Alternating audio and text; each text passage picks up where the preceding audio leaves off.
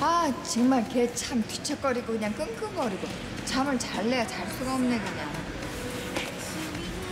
언니, 우리 언제까지 이러고 살아야 돼?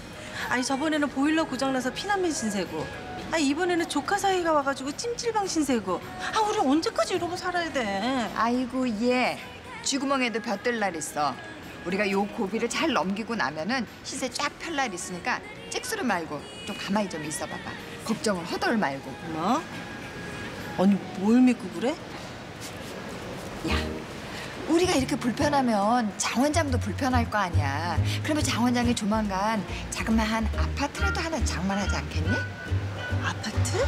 그래. 그러면 우리 네 식구가 그 아파트로 쫙 들어가면 되는 거고. 이게 계산이 딱 나오잖아. 계산이 딱 딱. 아 하여튼 언니 김치국은 아우 어우 그리고 우리가 좀 고생이 되더라도 둘이만 있어야지 애를 만들 수 있을 거 아니야. 애를 만들어야지 이 사태가 수습이 되는 거고.